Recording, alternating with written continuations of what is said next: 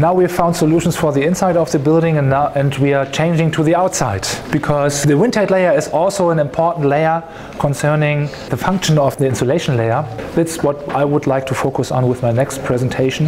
As I said, we are producing a lot of materials for the inside of the construction as well as for the outside. And this model house shows where we can deliver products for roofs, windows, and for roof pitches that are very low, down to 5 degrees. The product that I would like to focus on during my presentation is the Solitex Plus because the Solitex Plus has got also the BBA approval.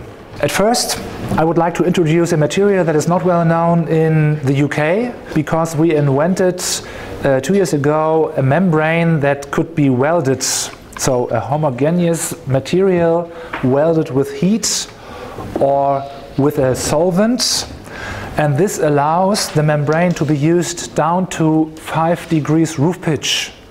Sometimes it's very important to have membranes that could be used down to this roof pitch um, because the Solitex Plus membrane is only suitable for roof pitches down to 12 degrees. This is defined by the BBA approval and the BBA said if you've got a diffusion open material based on polypropylene spunbonds then you should not install it below 12 degrees. So the Solitex Weldano you can, can be installed as a rainproof construction with a nail gasket between the counter battening and the membrane itself.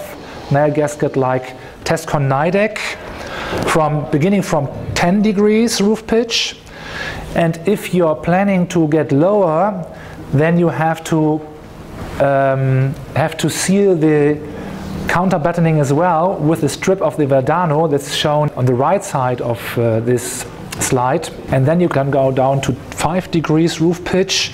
When we were having our seminars in Swindon, uh, a guy asked me if the Weldano is bat safe because some people are experiencing problems with bats um, when they are they got stuck in the spunbonds and uh, this is obviously a problem in the UK and the Weldano has got a very um, smooth surface, so it's not possible for the bats to get stuck. So I would say he what we, we, we sent him uh, uh, a sample of the material, and I guess the, he will come back to us with uh, the information that he is um, uh, gathering with um, um, um trying the sample um, and I'm pretty sure that due to the smooth surface, the Weldano is bad safe as well. So this could be a solution for this problem in the UK. But let's focus on the Solitex Plus.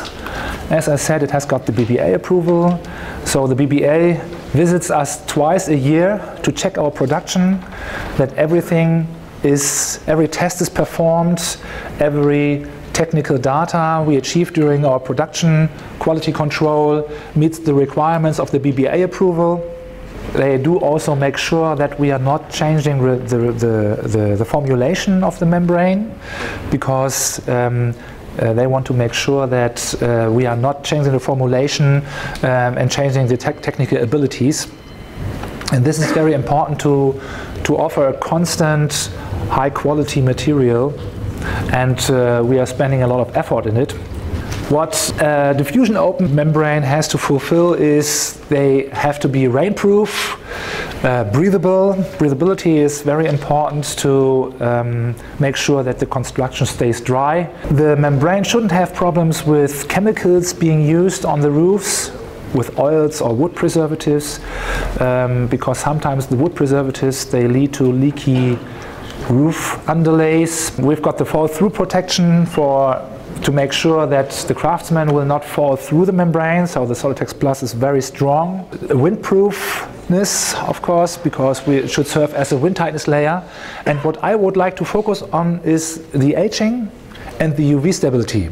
So UV stability means the UV stability during the building time when no tiles are being laid on the uh, construction and the aging resistance means that after the tiles are being installed the membrane is hidden like the air tightness membrane as well and you don't know what happens to membrane uh, but it has to but it has to fulfill uh, um, a requirement uh, if a tile gets broken then it should serve as a second protection layer um, and should not allow the water from getting into the insulation layer.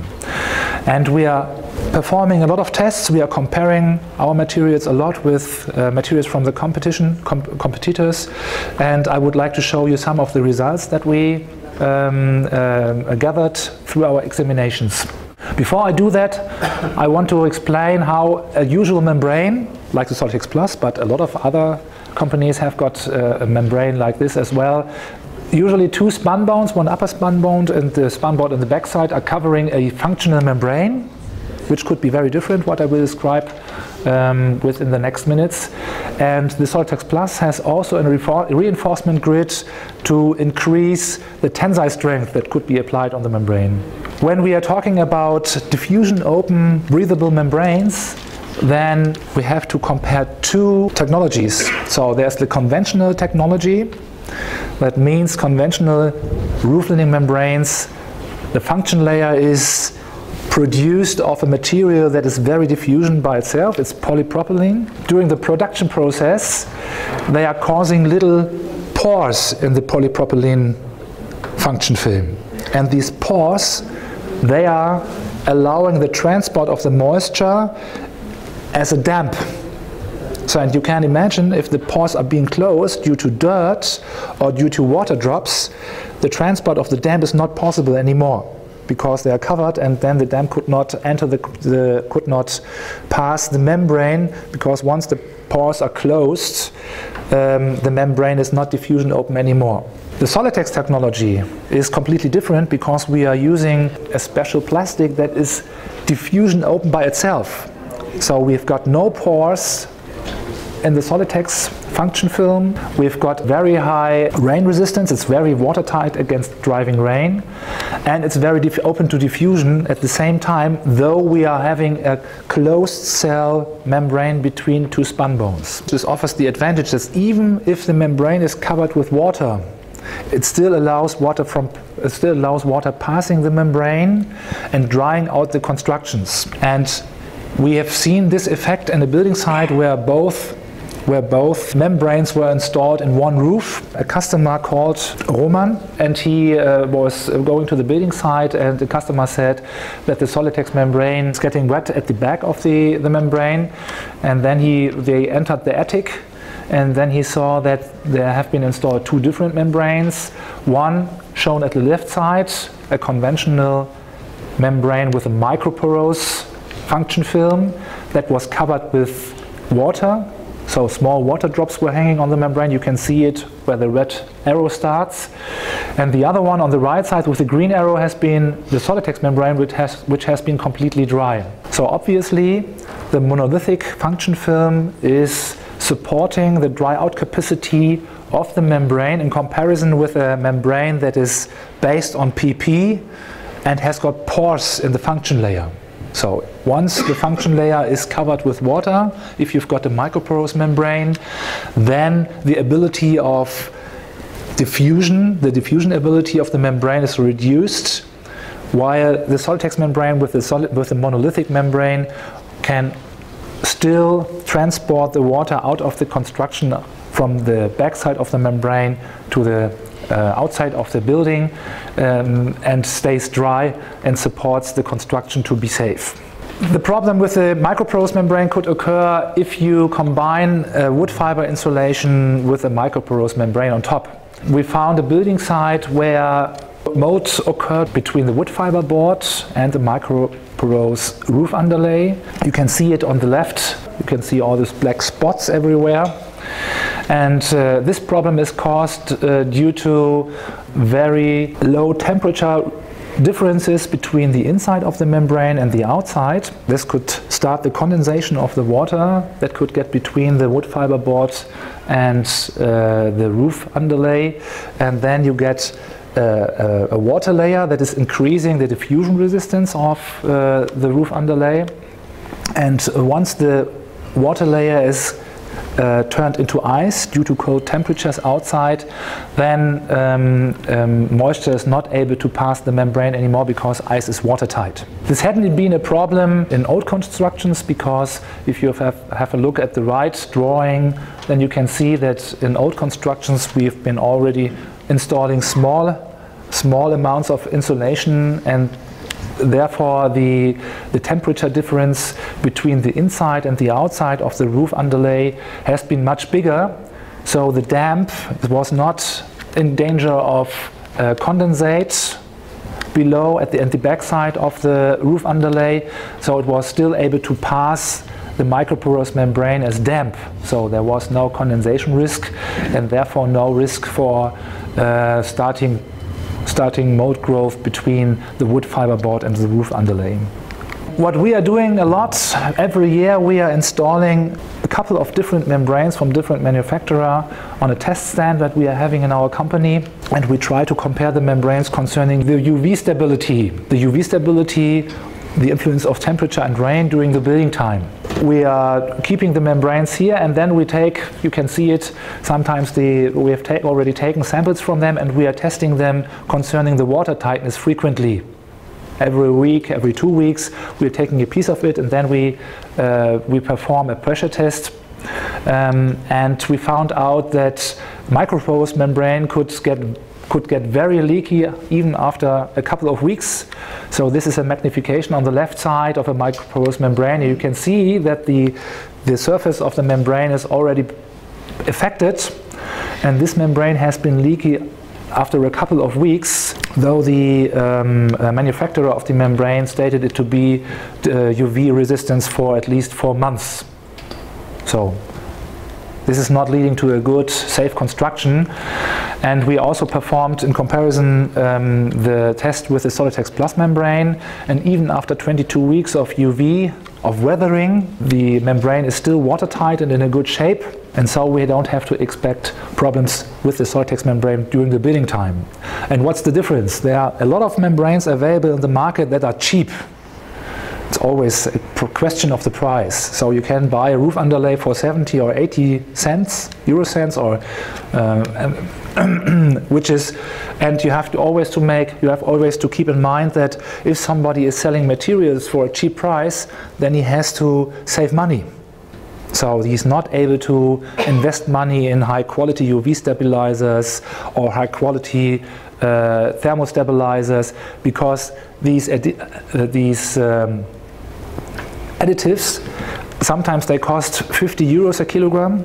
And if I could save the money, if I save the money because I want to sell my membrane for a low price, then I don't have the UV stability that a Solitex Plus membrane could offer during the building time. Another test stand that we are having is uh, a construction that is designed as a usual standard construction with insulation raft between rafters. At the inside uh, vapor check and at the outside below the tiles we are we've tested a lot of different membranes how they react under the warm conditions below the tiles because we found out that below the tiles temperatures above 60 or 70 degrees could occur. It's, it's getting very warm. If the roof is south orientated and the tiles are black, you will have very high temperatures there. And uh, we are doing this now for seven years. So we opened we opened uh, the construction uh, after two years, after five years, and now after seven years. And we put some, we have, we've taken some samples for it, from it. And uh, we found out that uh, a couple of microporous membranes are getting leaky after seven years.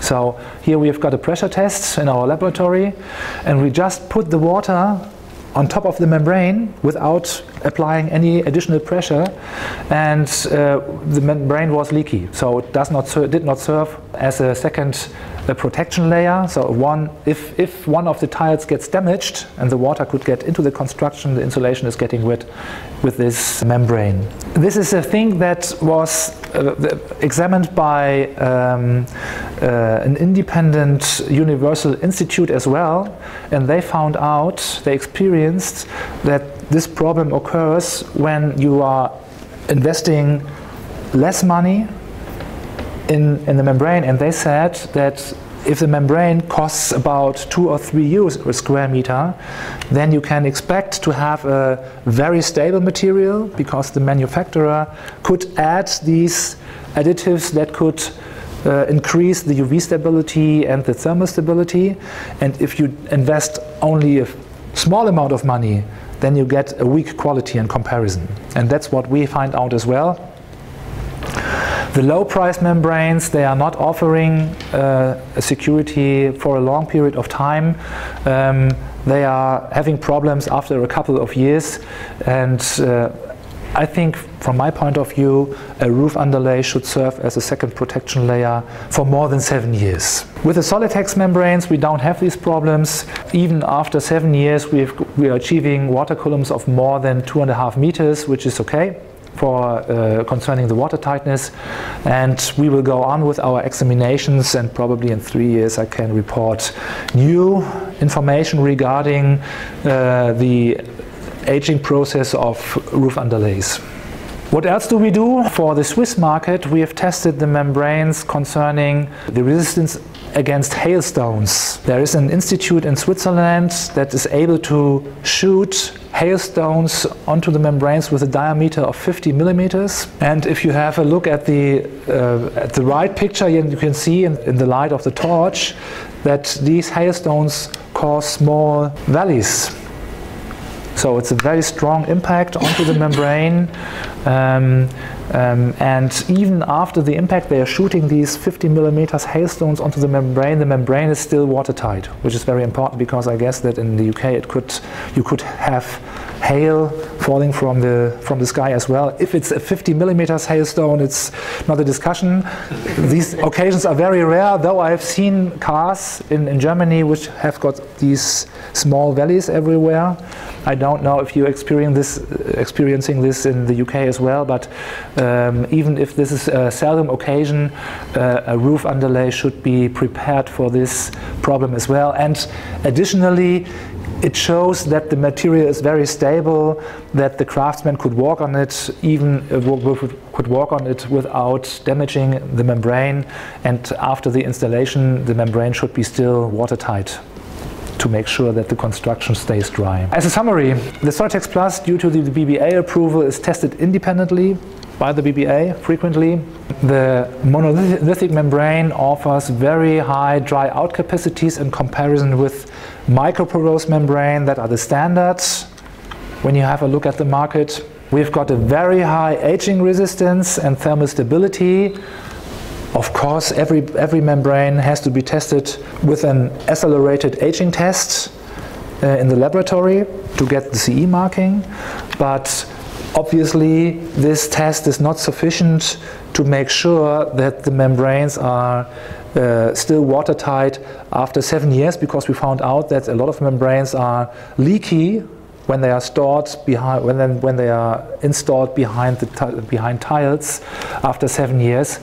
And that's why they are um, there will be a new European standard and this standard will in introduce a new way of testing the uh, the membranes concerning the accelerated aging um, because they found out that this is not suitable to, to serve as an accelerating test for roof underlays. So the Solitex Plus is extremely robust due to the reinforcement grid. So there's no problem when the craftsmen are stepping into it or if you want to uh, combine it with blown-in cellulose. And due to the high water tightness, the Solitex Plus offers high protection against rain, against the weathering during the building phase. Yeah, thank you.